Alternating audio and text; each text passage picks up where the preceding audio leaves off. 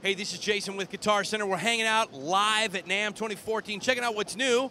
We're here in the Meinl booth. If you'll see, there is just a wall of cajones. We're going to talk about one here. I've got Herman. You're going to tell me about this one right here. What is great about this cajon? Well, this is like an enlarged version of our previous subwoofer cajon, which has a lot of bass. So, and then the bass sound comes forward.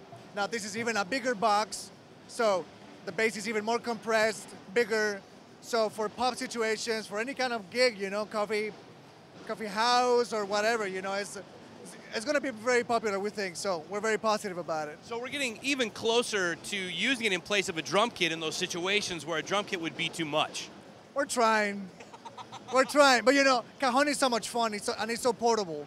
So that's the beauty of it. You know, with this one, the the the strings give it the nice rattle, the nice uh, uh, brilliant sound and then with the big bass, the big box, and then you get that thud bass drum sound. So, you know, if you cannot carry the, the, the whole drum set, you can take one of these babies with you. I love it. Let, let's give it a listen.